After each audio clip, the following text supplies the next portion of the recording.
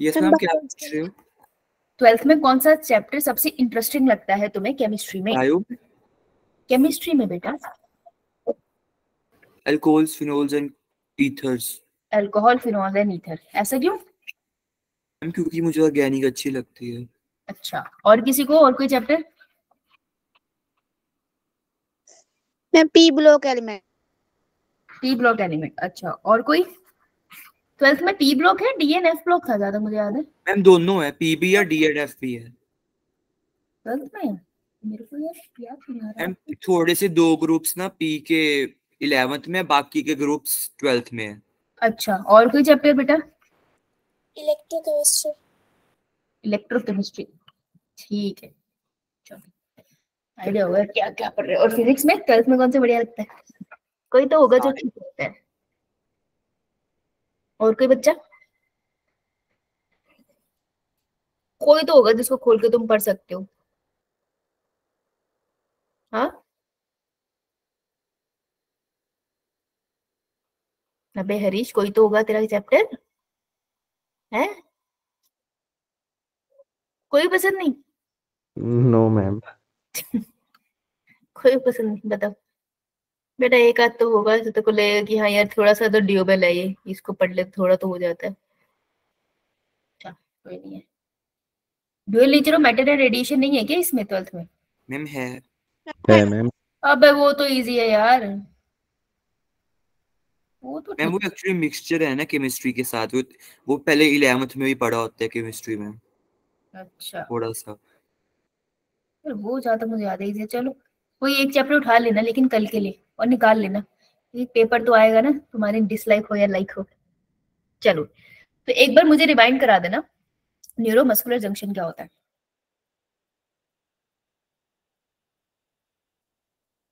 What is a neuromuscular junction ma'am junction between motor neuron और muscle fibre हाँ। मोस्टल neuron और muscle fibre के बीच में जो स्पेस होती है एरिया उसी को न्यूरोमस्कुलर जंक्शन कहते हैं। इसी का दूसरा नाम बेटा? Motor end brain motor end paid और अगर मैं इसको पूरा दिखा दूँ तुझे यहाँ बना दिया मैंने। तो ये तो हो गया न्यूरोमस्कुलर जंक्शन साइनेप्सिस और मोटर एंड प्लेट। और अगर मैं बोलूँ कि एक न्यूरॉन प्लस ये मसल फाइबर तो इसको टुगेदर हम क्या बुलाते हैं? Motor motor unit motor unit शाबाश। ठीक है तो हम कर रहे हैं कॉन्ट्रेक्शन uh, करने वाले हम लोग। तो कॉन्ट्रेक्शन की चीज़ हम समझ रहे हैं। तो अगर सिग्नल आना है कॉन्ट्रेक्शन का तो सिग्नल कम थ्रू न्यूरॉन कौन सा न्यूरॉन मोटर मोटर न्यूरॉन ठीक है और सिग्नल किस फॉर्म में आता है? कैसे मोटर न्यूरॉन क्या करेगा?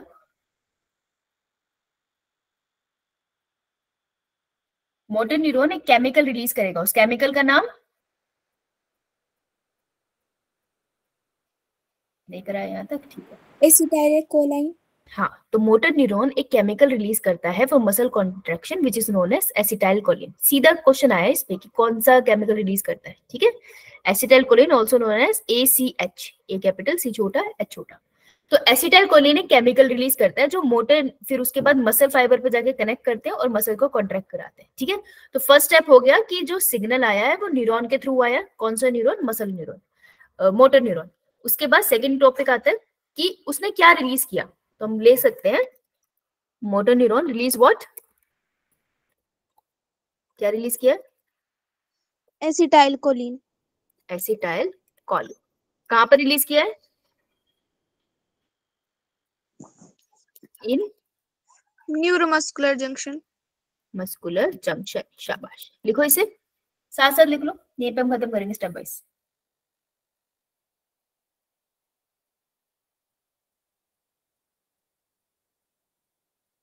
ठीक है न्यूरोमस्कुलर जंक्शन पे रिलीज़ करते हैं उसे।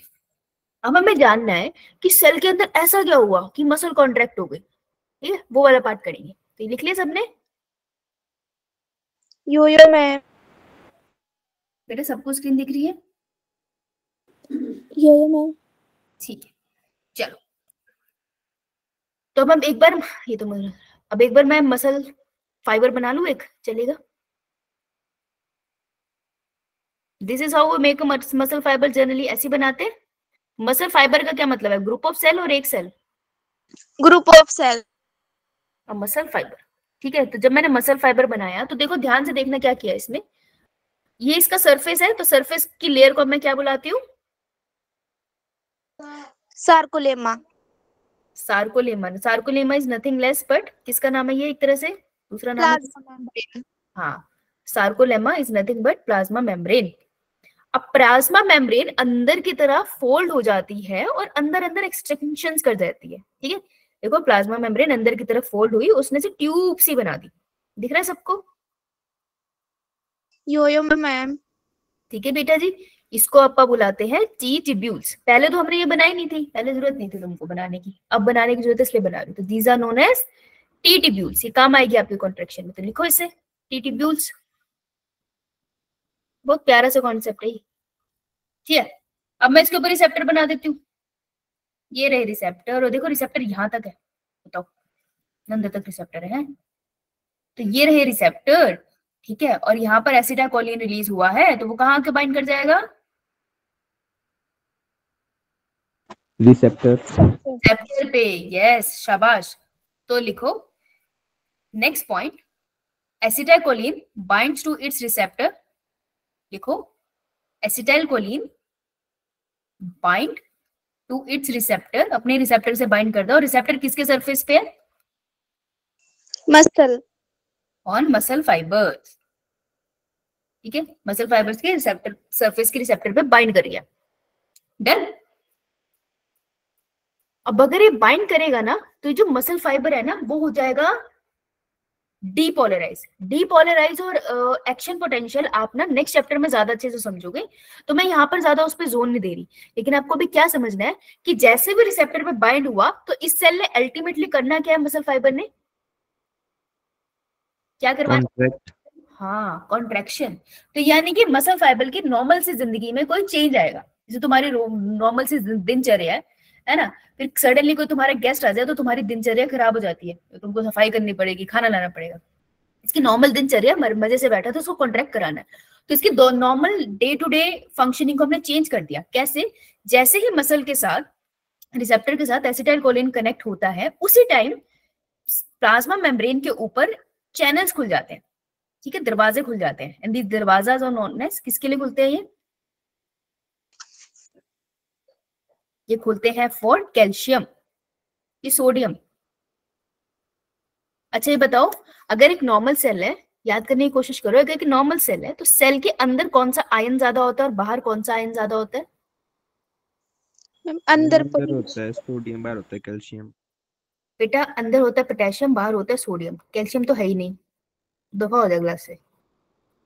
The most abundant ion inside a cell is a potassium ion मैंने लिखवाया भी है लिख ले। Most abundant ion in a cell is potassium ion और एक्स्ट्रा सेलुलर मटेरियल में हो जाए सोडियम आयन तो अगर मैंने दरवाजे खोले तो कौन सा आयन अंदर आ रहा होगा?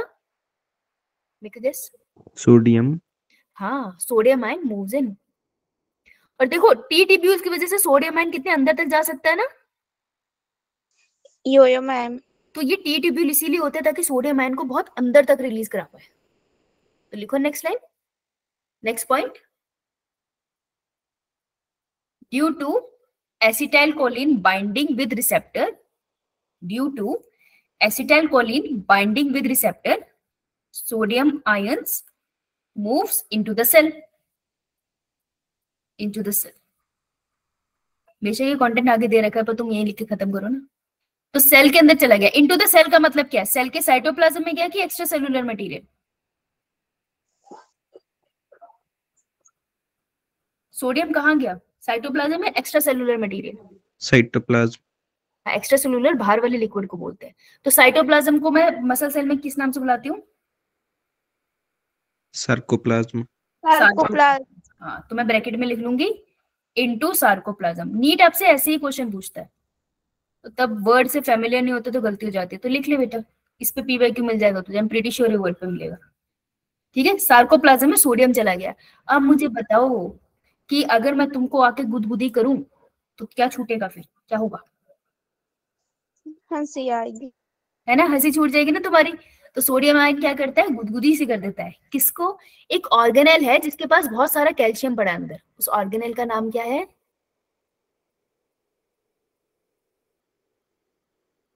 एक ऑर्गेनल है।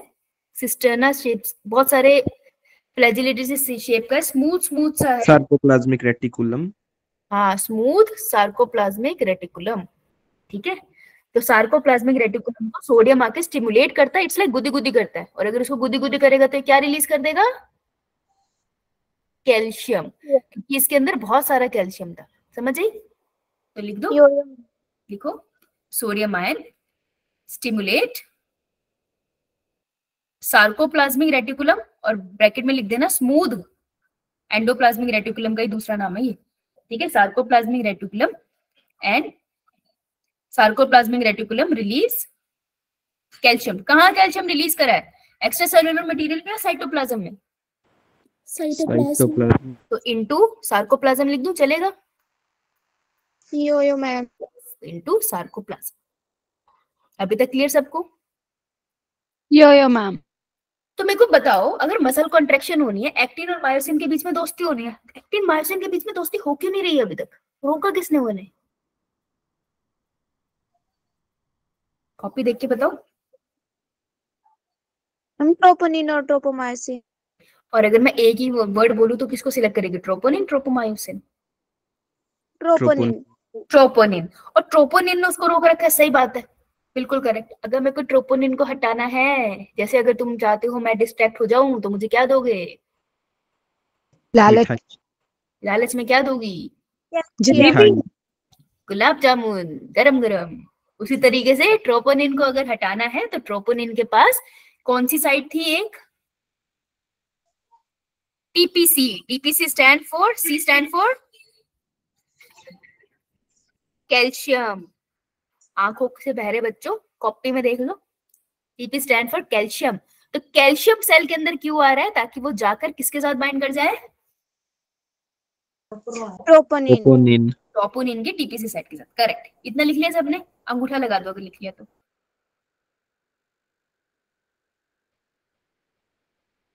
प्रीति हरीश विमल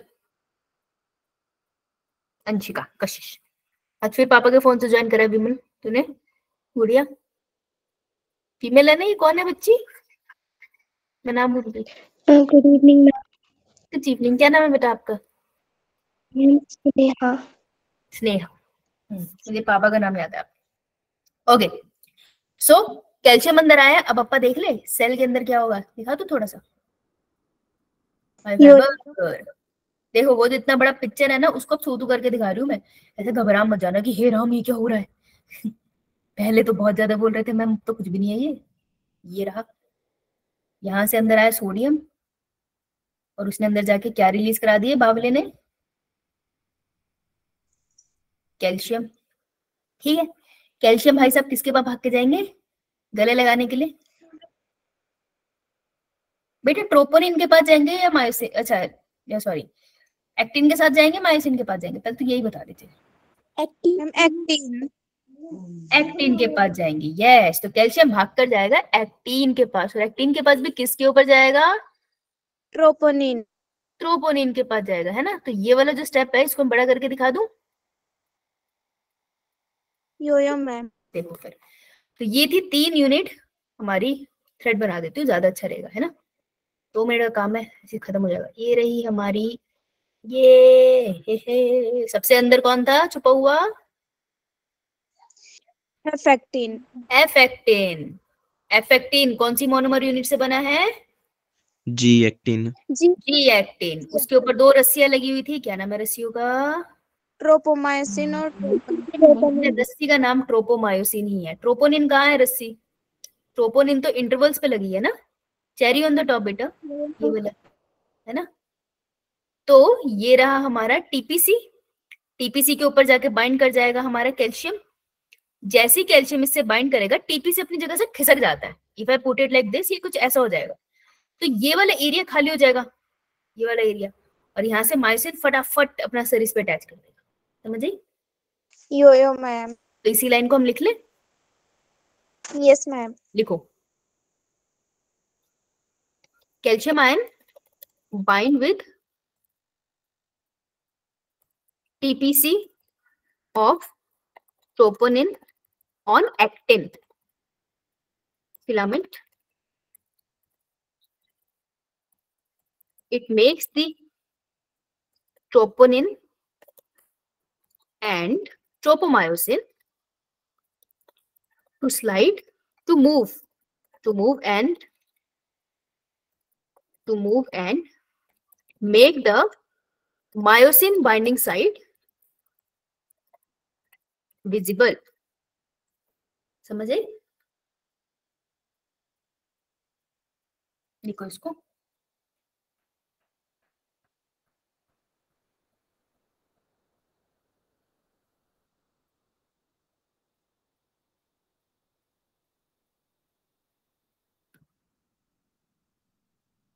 और मैं लास्ट में लिख सकती हूँ फाइनली इतनी देर से जो हम चल रहे हैं that is finally muscle contraction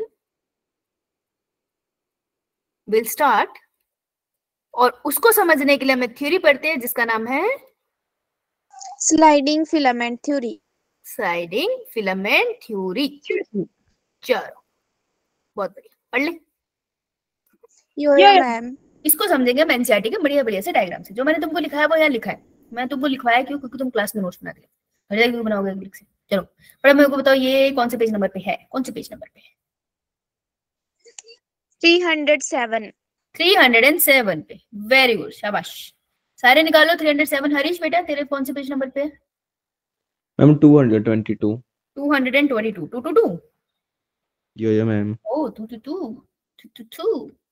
Okay, चलो। हेडिंग फिलामेंट थ्योरी को समझते हैं। मैं दिख रही हूँ। मैं तुमको दिख रही हूँ। आधी रोशनी पड़ रही है आधी में उजाले में हूँ आधी में अंधकार में। फोटोट्रॉफिज्म पढ़ सकते हैं हम इसमें प्लांट का। चलो छोड़ो ये है अगर एक्टिन और ये है मायोसिन दिख रहा है आपको actin and myosin yo yo ma'am myosin तड़प रहा है। अरे मेरे दोस्त मेरे दोस्त। फिर से हाथ मिला ले मेरी टिंडी मिला ले। तो ये मायोसिन का हेड ऊपर की तरफ़ तड़प रहा है एक्टिन से गले लगने के लिए। लेकिन एक्टिन इसको मुँह नहीं लगा रहा था। क्यों नहीं लगा रहा था? क्योंकि एक्टिन के ऊपर क्या लगा हुआ था? ट्रोपोन ट्रोपोनिन एंड ट्रोपोमायोसिन और बेसिकली ट्रोपोनिन ने उसको हाइड कर रखा था छुपा रखा था ठीक है? लेकिन जैसे ही कैल्शियम आयन आया तो ट्रोपोनिन हट गया। जगह दे दी उसने। राइट तो मेरे एक्टिन और मायोसिन में मायोसिन बाइंडिंग साइट किसके पास होगी? एक्टिन एक्टिन के पास ठीक है? मायोसिन को बाइंड करने की साइट किसके पास होगी? एक्टिन के पास ही होगी ना यही बाइंड करने वाला है। ये बात समझ आ रही है? ये लाइन समझ आ रही है?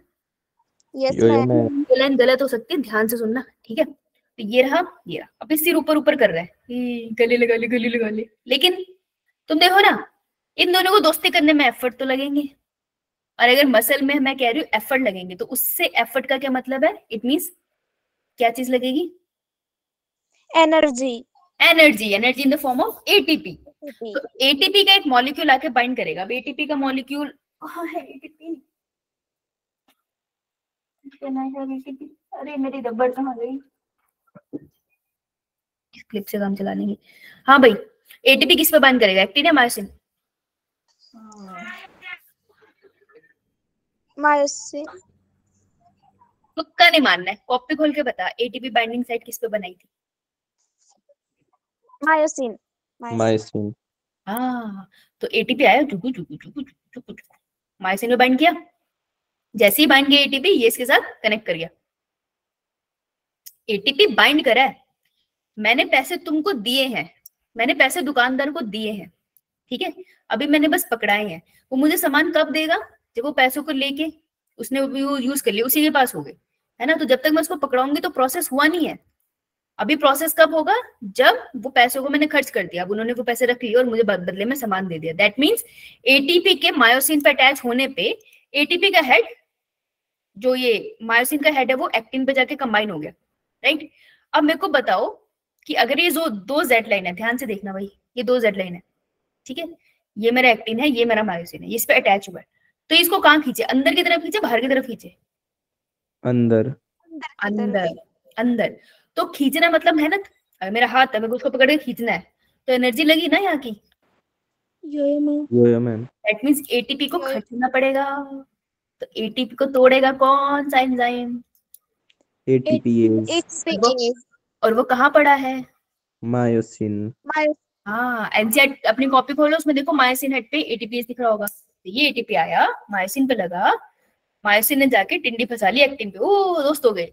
लेकिन कह रहा है कि दोस्त मूवमेंट के लिए एटीपी को खर्च करना पड़ेगा। तो एटीपी को खर्च किया और ऐसे मूवमेंट कर दी अंदर की तरफ़। तो जैसे ही मूवमेंट हुई अंदर की तरफ़ तो ये कुछ यूनिक सा हुआ है है ना? ये वर्ड याद रखना यूनिक सा हुआ है। सडनली मूव करिए क्लियर इतना?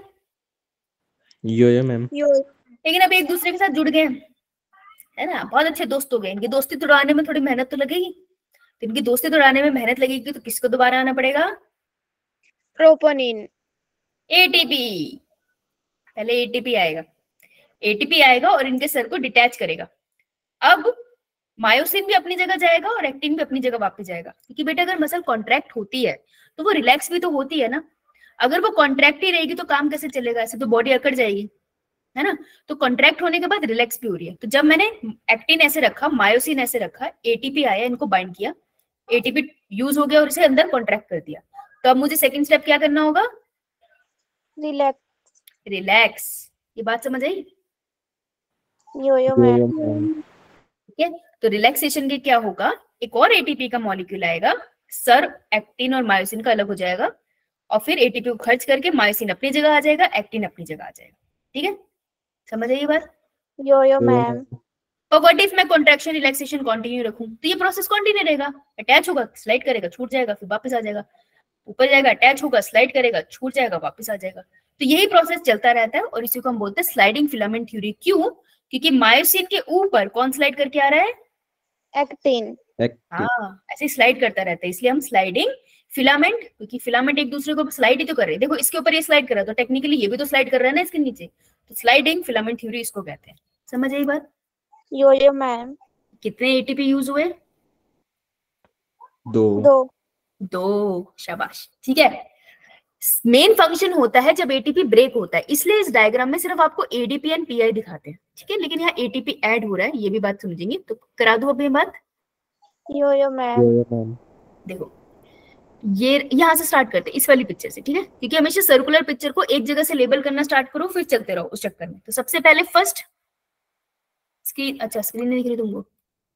नो मैम बताती क्यों नहीं है फिर है? मैं पढ़ा देती पूरा तो। देखो बेटा जी पिक्चर को यहाँ से लेबल कर लेते हैं वन लिख लो वहाँ पे पेंसिल से।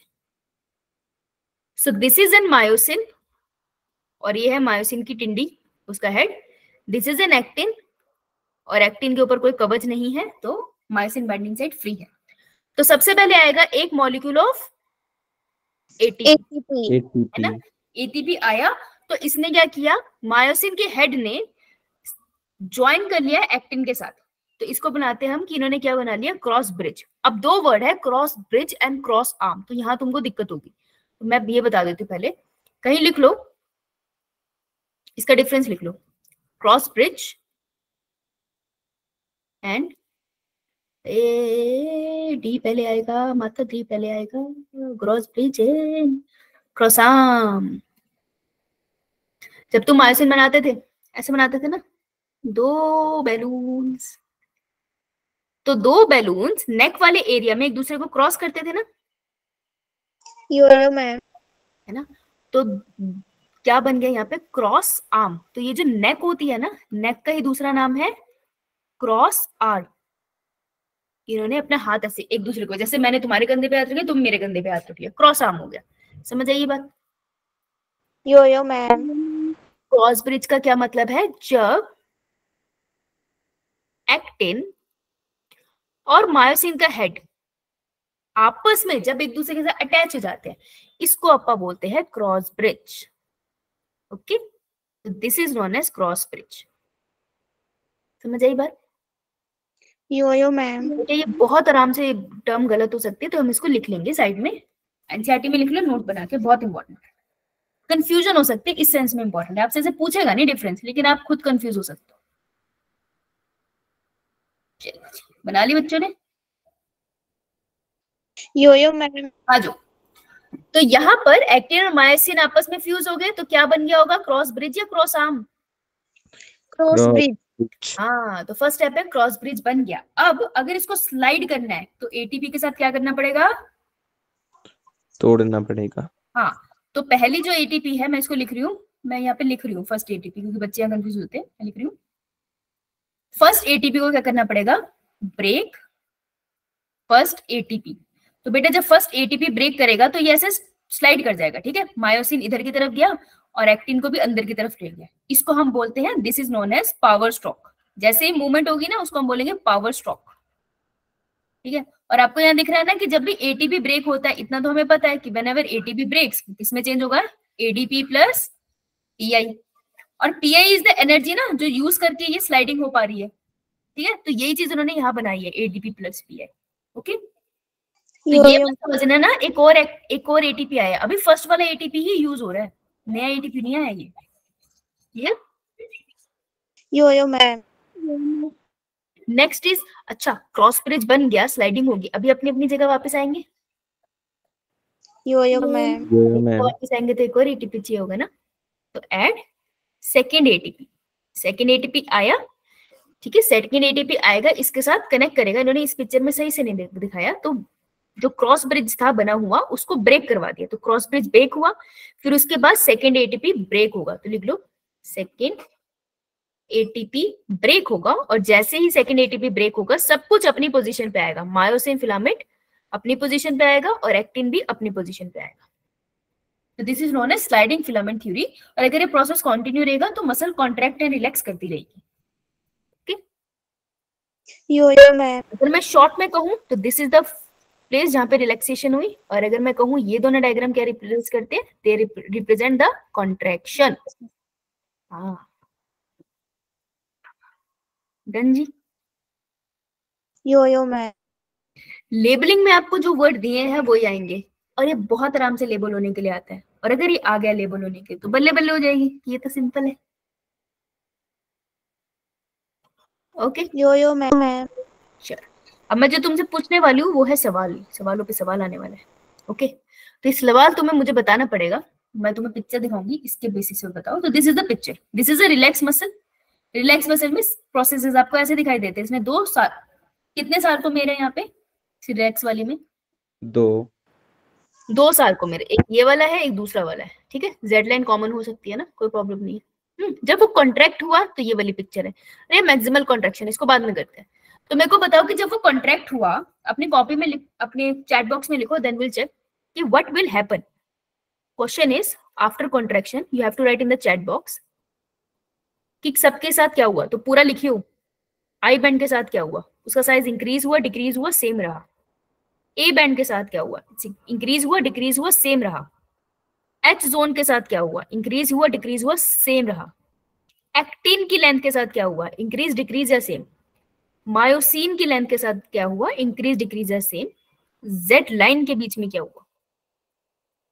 दोनों जेड लाइन का क्या हुआ? Okay so this is the question write in the chat box you have one minute start start timer okay start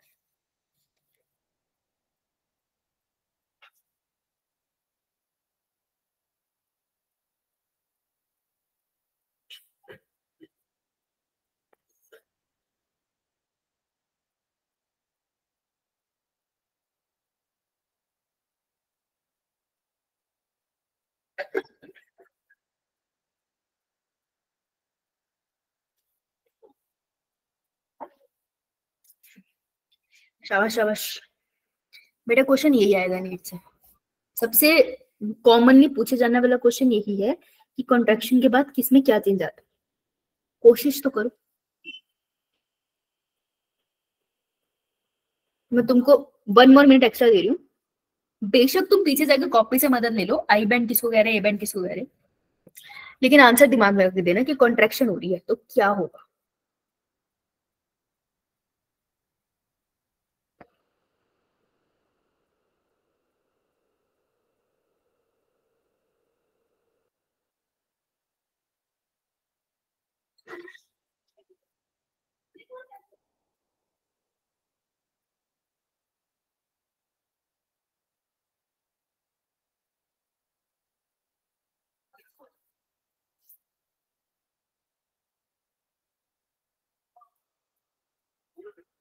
कर रही राजकुमारी? कर रहा हरीश कशिश यो यो मैम फिरांश सुरु Sitendra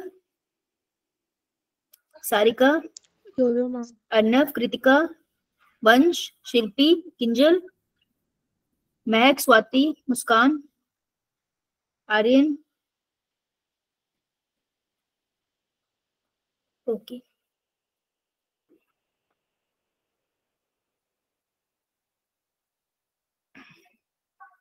एक पॉइंट गलत है, हरीश बाकी सही है।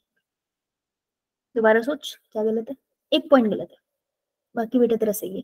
वो एक ही पॉइंट है जो सब पे गलत आ रहा है बार बार तो एक बार मैं दोबारा लिखूँगी वो।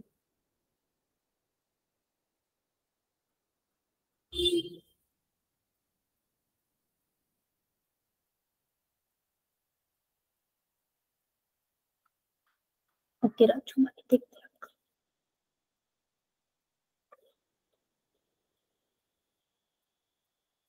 हैं हाँ भी हरीश तूने जेड लाइन नहीं लिखा? गुस्सा खाएगा?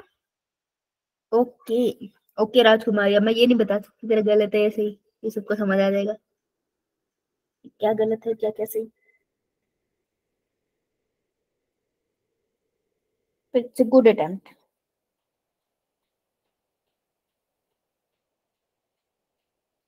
अच्छा ठीक है हरीश बेटा।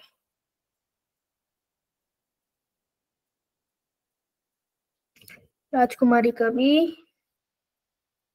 एक गलत है। दोबारा सोचो लाइक को सुबह सोचो। कॉन्ट्रैक्ट रिलैक्स वर्ड भी तो आता है।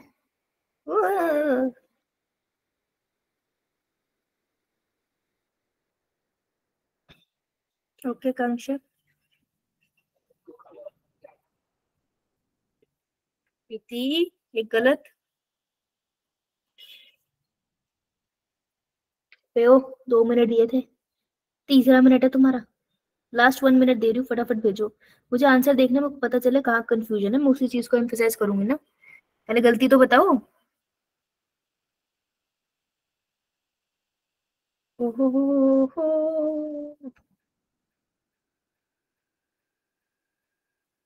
बेटा सूर्य इतनी स्लो स्पीड तो नहीं है तेरी। है ना सत्येंद्र की इतनी स्लो है, ना सूर्यांश की इतनी स्लो है। कि अभी तक आंसर नहीं भेजा। सारिका और संतोष ने भी, कृतिका ने भी। शिल्पी ने नहीं भेजा, किंजल ने नहीं भेजा, है? मुस्कान ने नहीं भेजा। इतनी स्लो स्पीड के बच्चे तो नहीं हो तुम। आइए। प्राणियों, इसको देखो, इसको। इसको देखो, इस बच्चे को।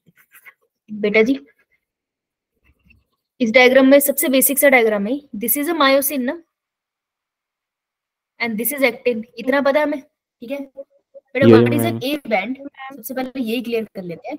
A band is the length of the myosin पूरी मायोसिन की लेंथ की बात हो रही है। ठीक है? ये है ए बैंड ठीक है तुमको? This is the A band पूरे मायोसिन की लेंथ की बात हो रही है। मैं ए बैंड के लिए बहुत सारे डेफिनेशन बना सकती हूँ ए बैंड के लिए बहुत सारे क्वेश्चन बन सकते हैं बैंड से क्योंकि बच्चे यही सबसे ज़्यादा कंफ्यूज होते हैं। तो मैं इसको अपनी कॉपी में लिख लूँगी। The what is A band A band is nothing but length of myosin ये मायोसिन की लेंथ है ये। बीच में तोड़ा नहीं है उसको। मैं ये भी कह सकती हूँ ए बैंड में क्या क्या है? वन कंप्लीट बोलेंगे। कंप्लीट मायोसिन है और एक्टिन है इसमें। Yo yo ma'am myosin plus ये देखो ये थोड़ा सा ग्रीन वाला पार्ट आ गया ना प्लस सम एक्टिन थोड़ा एक्टिन भी है इसके अंदर। कह सकती हूँ? यो यो मैम तो ये कुछ गलत नहीं कहा मैंने। ठीक है जी? ओके अगर मैं आई बैंड बोलू तो I band is the length of actin तीन it is the length of actin right तो एक्टिन की लेंथ को हम इस डायग्राम में ज़्यादा अच्छे से दे रखी है वाली। हैंड में डायग्राम ये लिख लिया सबने यो यो मैम आई वाली बैंड ना यहाँ पे ज़्यादा बेहतर दे रखा है बिल्कुल एक्यूरेट ठीक है so this is the length of I band लेकिन अगर ध्यान से देखोगे I band is the length of actin लेकिन ध्यान से देखोगे कि पूरा एक्टिन लिया इसने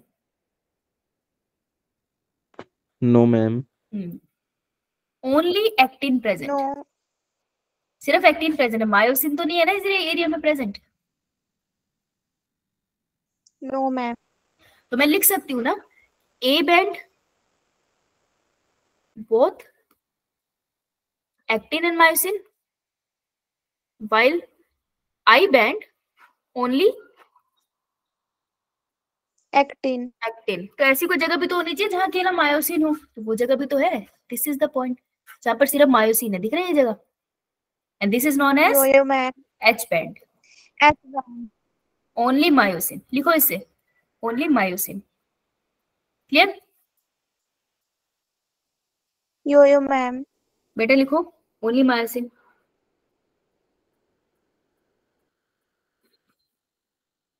अब बना रही हूँ। मसल कॉन्ट्रैक्ट हुई तो सब चीज़ें अंदर की तरफ़ मूव कर गई। ठीक है? सब चीज़ें अंदर की तरफ़ मूव करेंगी। तो सबसे पहले था आई बैंड आई बैंड ये लेंथ थी ना? अगर मैंने इसको अंदर खींच लिया ये इतनी रीजन आई बैंड का था ध्यान से इसको देखना जो मैंने रेड करा है। दिख रहा है सबको रेड वाला?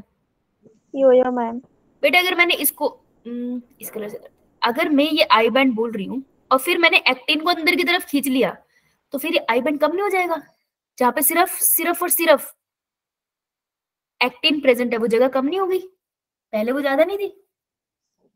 यो यो मैम एक्टिन वहीं का वही दैट इज़ ट्रू कि एक्टिन की लेंथ को कुछ नहीं हुआ लेकिन अकेला एक्टिन थोड़ी प्रेजेंट अब देखो यहाँ पे स्पेस कम होगी पहले स्पेस ज़्यादा थी। तो आई बैंड क्या होगा? शॉर्ट शॉर्टन हो जाएगा लेंथ में। बात करते हैं ए बैंड की। A band is the length ये सेंटर वाली लेंथ है ना? जिसमें एक्टिन पूरे पूरे मायोसिन को कंसीडर करना है आपने। ठीक है तो A band is nothing but पूरे मायोसिन अपने मायोसिन की लेंथ जब आपने कॉन्ट्रेक्शन की क्या मायोसिन की लेंथ कम होती है? नो no, मैम एक्टिन और मायोसिन की लेंथ को कुछ नहीं होता वो वहीं रहती है बस एक दूसरे के ऊपर स्लाइड होती है। तो अगर मायोसिन की लेंथ इतनी थी अभी भी तो मायोसिन की लेंथ उतनी है। बेशक अब उसमें एक्टिन ज़्यादा आ गया इससे क्या फ़र्क पड़ता है? ए बैंड की लेंथ तो उतनी है ना जितनी मायोसिन की लेंथ है। तो ए बैंड सेम रहेगा। बात समझ आई? यो यो मैम। हरीश समझ आया? Yo yo ma'am. अच्छा अब एच जोन की बात करते हैं। एच जोन कौन सा जोन था? जहाँ सिर्फ़ मायोसिन होता है। जहाँ जरा मायोसिन होता है यानी कि मैं इस एरिया की बात कर। रही हूँ अब यार अगर एक्टिन मैंने अंदर की तरफ़ खिंचका दिए तो डेफिनेटली वो ये वाली जगह को तो कम कर देंगे ना। ये छोटू हो गया। तो मैं कह सकती हूँ एच जोन के साथ क्या हुआ? डिक्रीज हाँ शॉर्टन हो गया या डिक्रीज हो गया। ठीक है कुछ भी लिख लो। एक्टिन की लेंथ को क्या होगा? सेम सेम मायोसिन की लेंथ भी सेम रहती है। अब जेड लाइन की बात करें। बेटा जेड लाइन से तो खींच रहे हो तुम अंदर। तो जेड लाइन भी तो डिक्रीज हो जाएगी। तो Z line shorten shorten toward center center की तरफ़ मूव कर जाएँगी वो शॉर्ट हो जाएगी ओवरऑल ये पूरा सार्कोमेर की लेंथ कैसी हो जाएगी? डिक्रीज समझ आई बात? यो यो मैम बेटा यही पूछेंगे आपसे। इसे अपडेट कर लो जिसका एक ही गलत है।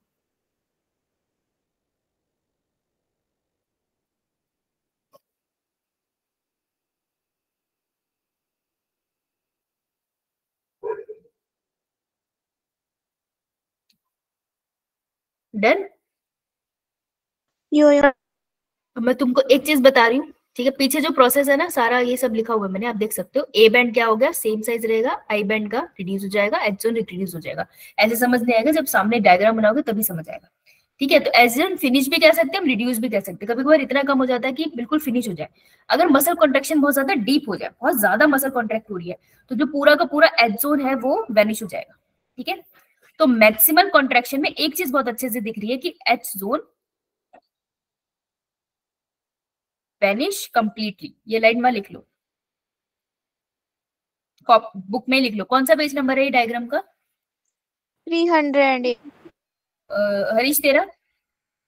मैम 223 2023 ठीक है लिख लो एच जोन वेनिश कंप्लीटली खत्म। लिख ही नहीं रहा। चलो बेटा।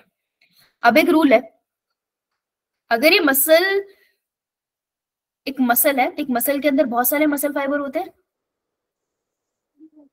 Yo yo ma'am so this is muscle fibre fibril को मैं आगे इंक्लूड ही नहीं कर रही और दिस इज़ अ मसल एक मसल सो so, अगर एसिटाइल कोलिन का सिग्नल आया एक मसल के सेल के ऊपर तो मसल का सेल ज़रूर कॉन्ट्रैक्ट करेगा। ऐसा हो ही नहीं सकता कि ना कॉन्ट्रैक्ट करे। और अगर वो कॉन्ट्रैक्ट कर रहा है तो वो पूरा कॉन्ट्रैक्ट करेगा। मतलब ऐसा नहीं है हाफ़ कॉन्ट्रेक्शन करेगा। जो ये मैंने स्लाइडिंग फिलामेंट थ्योरी दिखाई है ना पूरा स्टेप होगा। अच्छे से दोनों स्टेप होकर कॉन्ट्रैक्ट होगा वो ठीक है? और प्रॉपर वाला रिलैक्सेशन का स्टेज जाएगा उसमें। सो so, अगर एक सेल के ऊपर सिग्नल आता है तो वो प्रॉपरली कॉन्ट्रैक्ट करता है ठीक है? तो यहाँ सिग्नल आया ये सेल कॉन्ट्रैक्ट करेगा। यहाँ सिग्नल आया ये सेल कॉन्ट्रैक्ट करेगा। यहाँ सिग्नल आया ये सेल कॉन्ट्रैक्ट करेगा ठीक है? तो एक मसल सेल हमेशा कॉन्ट्रैक्ट करता है या फिर नहीं करता पर कभी भी आधा कॉन्ट्रैक्ट नहीं करेगा। इसी को हम क्या बोलते हैं? This process is known as all and none principle all and none principle क्या कहता है? ध्यान से सुनना इंपॉर्टेंट है। कि in the presence of threshold stimulus threshold stimulus का मतलब है दे टॉकिंग अबाउट सिग्नल आ गया that is acetylcholine for example the muscle cell will contract muscle का सेल सेल बोल रहा है वो, यानी कि मसल फाइबर मसल का सेल कॉन्ट्रैक्ट करेगा या तो पूरी तरीके से, या फिर वो कॉन्ट्रैक्ट करेगा ही नहीं। मान लो एसिटाइल कोलिन की जगह कुछ और आ गया तो वो कॉन्ट्रैक्ट करेगा ही नहीं। पर ऐसा कभी नहीं होगा कि वो मिडल में रह गए कि आधा कॉन्ट्रैक्ट कर रहा आधा कॉन्ट्रैक्ट नहीं कर रहा। ये बात समझ आई? यो तो या तो वो पूरा कॉन्ट्रैक्ट करेगा ऑल कॉन्ट्रैक्शन होगी या फिर कॉन्ट्रैक्ट करेगा ही नहीं नन ठीक है इसे कहते हैं ऑल एंड नन प्रिंसिपल लेकिन अभी ध्यान से देखना इसी को। ये मसल है। मसल में डब्बा क्यों बना रही हूँ? चलो बनती स्पिंडल शेप की है। रुको। मसल है। ये रही मसल हमारी स्पिंडल से शेप ठीक है? मसल की सेल्स हैं। सारी जगह फैला दी मैंने तो ये सेल है। ठीक है? और एक मसल है। तो हो सकता है सिग्नल आया इस सेल पे। सेल नंबर वन ये कॉन्ट्रैक्ट करेगा? Yo yo cell number two contract करते हैं सेल नंबर थ्री कॉन्ट्रैक्ट करें। तो मसल सेल कॉन्ट्रैक्ट करेगा या नहीं करेगा एक ही चीज़ होगी। लेकिन ये भी तो हो सकता है ना कि बाकी के सेल्स के पास सिग्नल ही ना गया हो। हो सकता है। बिल्कुल पॉसिबल है आदि मसल्स के ऊपर सिग्नल ना गया हो। तो मसल का एक सेल या तो पूरा कॉन्ट्रैक्ट करेगा या पूरा रिलैक्स करेगा। लेकिन ओवरऑल मसल हम कह सकते हैं ना पार्शली कॉन्ट्रैक्ट करेगी। अब इस हिस्से में तो तुम्हें कॉन्ट्रैक्शन दिखेगी लेकिन दूसरे हिस्से में कॉन्ट्रेक्शन दिखेगी? नो मैम रिलैक्स रहेगी। तो मैं कह सकती हूँ कि एक मसल पार्शली कॉन्ट्रैक्ट कर सकती है लेकिन एक मसल का सेल हमेशा या तो पूरा कॉन्ट्रैक्ट करेगा या नहीं करेगा। ठीक है? यो यो मैम ये वाली लाइन लिखो। इंपॉर्टेंट लाइन है।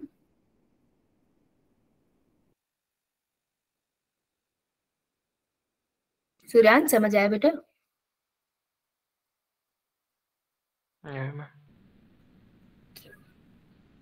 इसका बहुत प्यारा सा एग्जांपल है। जैसे आपकी पीठ होती है है ना? एब्डोमन लोअर एब्डोमन यहाँ पे बहुत सारी मसल्स हैं। सबसे ज़्यादा आपकी पीठ को दिक्कत होती है? सबसे ज़्यादा। आप बैठे हो ना आपकी पीठ के मसल्स कॉन्ट्रेक्टेड है। आप उठोगे, लेटोगे, सोते हुए बक पलट रहे हो तो मसल्स ना इसकी कॉन्ट्रैक्ट रिलैक्स होती रहती है। बहुत ज़्यादा। कुछ भी एक्टिविटी कर लो एब्डोमन तो हमेशा इन्वॉल्व होता है। मैं अभी अपने रूम पे बैठी हूँ, ठीक है? तो मेरे टांगों को यूज़ नहीं कर रही। लेकिन मेरी पीठ तो तब भी यूज़ हो रही है ना, मेरी बॉडी को सपोर्ट कर रही है।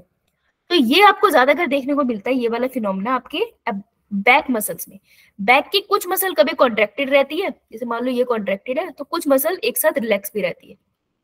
इनमें एक तरह से बैलेंस बना रहता है। कभी कोई कॉन्ट्रैक्ट हो रही है, कभी कोई रिलैक्स हो रही है, ठीक है?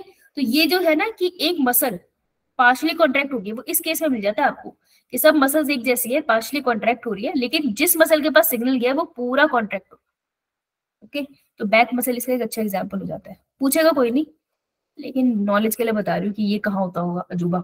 तुम्हारी पीठ में रोज हो रहा है। एक ही मसल का आधा पार्ट कॉन्ट्रैक्ट हो रहा है, कुछ पार्ट नहीं कॉन्ट्रैक्ट हो रहा, उसी पे हमारी ज़िंदगी चल रही है। ज़्यादा कॉन्ट्रैक्शन हो जाएगी तो पीठ में दर्द नहीं हो जाएगा? Yo yo ma'am. चलो जी लिख लिया सबने?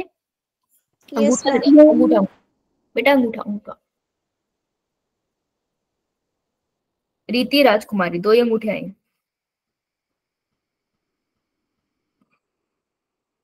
ठीक है। और बेटे जी अब हमें करनी है डिजीजेस और ये थोड़ा सा मायोग्लोबिन वाला पार्ट ओके सो अभी आपकी एक्स्ट्रा क्लास है। यो मैम तो आठ पंद्रह पे मिले then will start with that ठीक है? यो यो मैम